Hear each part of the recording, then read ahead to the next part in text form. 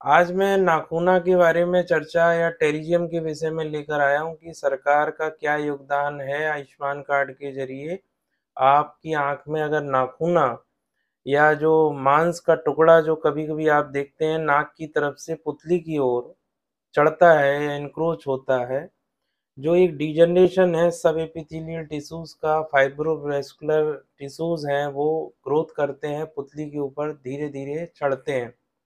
उस कंडीशन में पेशेंट जब शीशे में या घर के मिरर में देखता है तो इनक्रोच करता हुआ दिखता है। ज़्यादातर होता है पेशेंट जब डॉक्टर के पास पहुँचता है तो उसके अंदर एक विचार ये रहता है, जब डॉक्टर ये कहता है कि भाई नाखूना हो गया है आपको और इसमें ऑपरेशन की ज़रूरत है। तो तुरंत ही मन में ख्याल आता है कि सर कोई ऐसा ड्रॉप नहीं है, ऐसा कोई इलाज नहीं है जिससे हमको ऑपरेशन ना कराना पड़े। मुझे ऑपरेशन से बहुत डर लगता है। दवाई बता दीजिए सर, जो भी खर्चा आएगा, वो लिख दीजिए, वो ले ली जाएगी और मुझे कट जाएगी। नाखूना में दवाई का कोई रोल नहीं है। हाँ ये ज़रूर है कि नाखूना के आसपास के एरिया में जब कभी ईचिंग रेडनेस या चुभन के कारण या ड्राई क्लाइमेट में आप ज़्यादा रहते हैं या कोई धुआँ लग गया एलर्जी हो गई तो साइड में कभी-कभी उसके अगल-बगल लाली आ जाती है तो उसके लिए डॉक्टर ज़रूर आपको कुछ लुब्रिकेंट और कुछ सॉफ्ट स्टेरॉइड के साथ एंटीबायोटिक प्रिस्क्राइब कर देते हैं। जिससे वो लाली तो साइड की थोड़ी कम हो जाती है, लेकिन जो नाखूना है, जो एक डिजेनरेटिव कंडीशन है तो इसमें दवाई उसमें आप डालेंगे तो कोई रोल नहीं है दवाई का। तो जब ऑपरेशन की बात आती है तो पर्सन डर जाता है और ऑपरेशन से भागने लगता है कि भाई अभी ठीक है मुझे कोई दिक्कत नहीं है मैं अभी नहीं कराऊँगा।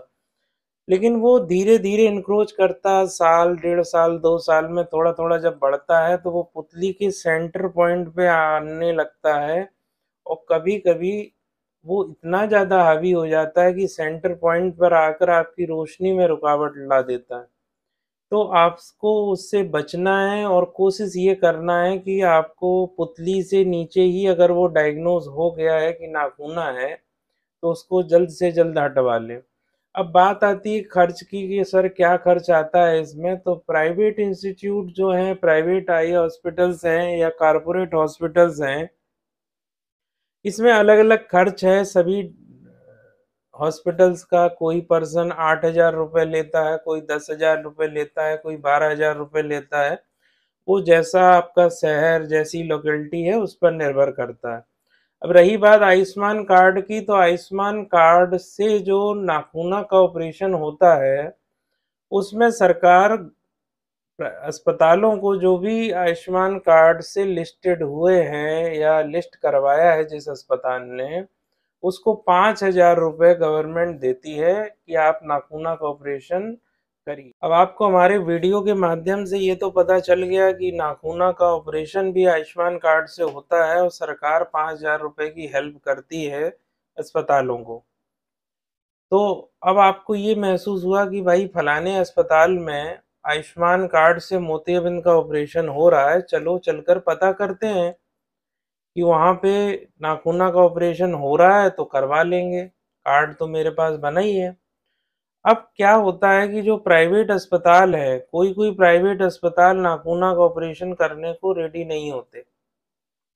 कुछ अस्पताल हो जाते हैं, कुछ नहीं होते हैं, क्योंकि कुछ ऐसे अस्पताल भी हैं जहाँ पे अगर सर्जरी का रेट दस बारह हज़ार, चौदह हज़ार है और सरकार उनको पाँच हज़ार रुपये दे रही है तो वो वैल्यू ही उनकी नहीं निकल के आ रही। उनके अस्पताल के खर्चे इतने ज़्यादा हैं, उनका स्टाफ है नर्सिंग स्टाफ है पैरामेडिक स्टाफ है ओटी का खर्च है इलेक्ट्रिसिटी है इक्विपमेंट्स हैं सीबीसी खून की जांचें हैं।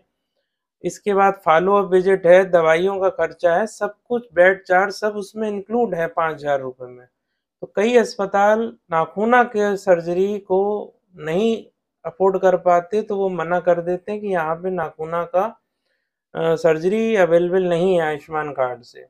अगर ऐसा हो रहा है तो आप अपने नज़दीकी ऐसे अस्पताल में जाकर पूछ सकते हैं, जहाँ पे ये व्यवस्था अस्पताल दे रहा है आयुष्मान कार्ड से। आप ट्रस्ट के कोई हॉस्पिटल्स हों वहाँ जाके पता कर सकते हैं, वहाँ सेवा भाव से सेवा होती है, वहाँ के खर्च कम है, वहाँ कुछ फंडिंग ऐसी भी है, सरकार की भी हेल्प है, कई लोग उसमें मदद करते हैं, कुछ फॉरेन इन्वेस्टर्स भी मदद करते हैं।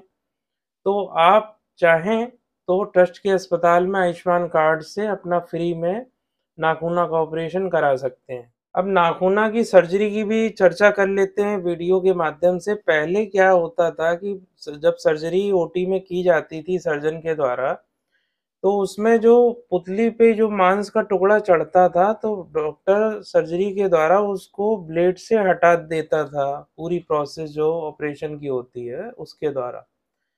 तो उसका आगे का हिस्सा हट गया, पीछे का हिस्सा कुछ उसमें रह जाता था। रह जाने के बाद क्या होता था कि जैसे मान लीजिए आगे-आगे का कुछ हिस्सा हट गया और पीछे का कोई छोटा-सा पार्ट भी छूट गया, तो वो एक से डेढ़ साल या आठ महीने, डेढ़ दो साल में फिर से वो रेडी हो जाता था, फिर से वो पुतली पे इनक्रोच करता था।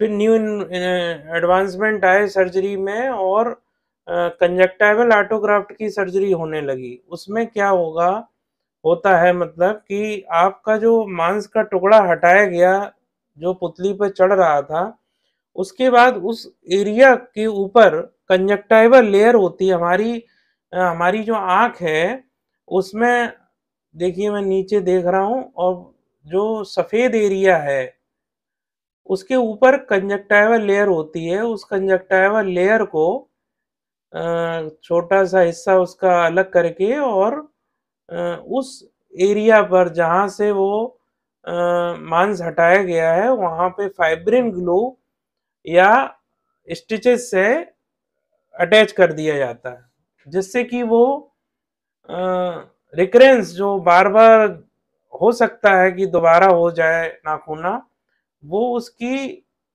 होने की संभावना 8 से 10 परसेंट रह गई, जो पहले 80 से 90 परसेंट थी। तो अब जब भी डॉक्टर के पास जाएँ आयुष्मान कार्ड से नाखूना का ऑपरेशन करवाने के लिए, तो डॉक्टर से कंजक्टाइवल ऑटोग्राफ्ट की सर्जरी जो सरकार भी जो 5000 रुपए दे रही है इस सर्जरी के, वो कंजक्टाइवल ऑटोग्राफ्ट की सर्जरी के लिए दे रही है, ये आपको हमेशा ध्यान रखना है। ये उनका जो डाटा है, उसमें ये साफ-साफ मेंशन है कि पेशेंट का कंजक्टाइवल ऑटोग्राफ्ट के द्वारा आप सर्जरी करेंगे, आयुष्मान कार्ड से। तो ये बात थोड़ा आप डॉक्टर से जब जाएँ तो ज़रूर कर दें कि सर ग्राफ्टिंग करवानी है, कंजक्टाइवल ऑटोग्राफ्ट करवा दीजिएगा। तो डॉक्टर के दिमाग में रहेगा कि हाँ, पेशेंट को नॉलेज है और आप उसका फ़ायदा उठा पाएँगे जिससे आपको बार-बार इस दिक्कत का सामना नहीं करना पड़ेगा। फ्रेंड्स वीडियो अगर थोड़ा भी अच्छा लगा हो तो नीचे एक लाइक का बटन है, उसे प्रेस कर दीजिएगा। चैनल पर पहली बार आए हैं तो चैनल को सब्सक्राइब भी कर लीजिएगा, जिससे आगे आने वाले आई रिलेटेड वीडियोज़ आपको समय-समय पर मिलते रहेंगे। Thank you very much friends.